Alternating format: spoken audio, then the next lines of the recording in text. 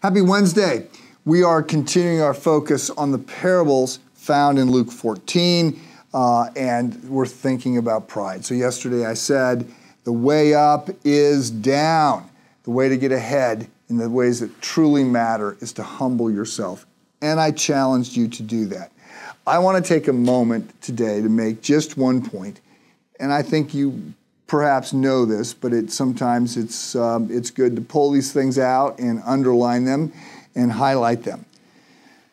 Please understand, we're never asked or expected to act in any way that is against our own best interest. We just don't understand what's in our own best interest. Like, in light of eternity, everything changes.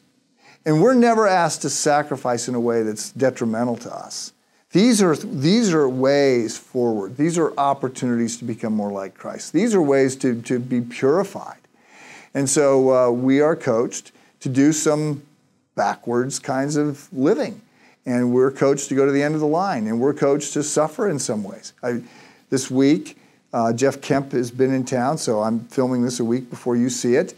Jeff Kemp was in town to, to speak at a variety of different venues.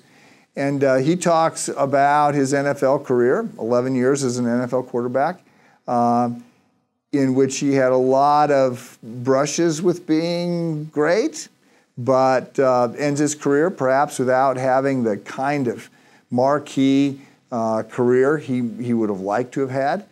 And he says he, his sense from the Lord is, yeah, yeah, yeah, Jeff, you know, your life was never about being an NFL player. It was always about other things.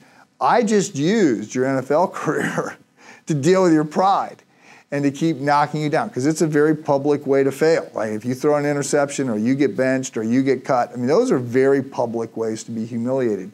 But he looks back now and sees all the, the sort of heart work that God was doing in his own life.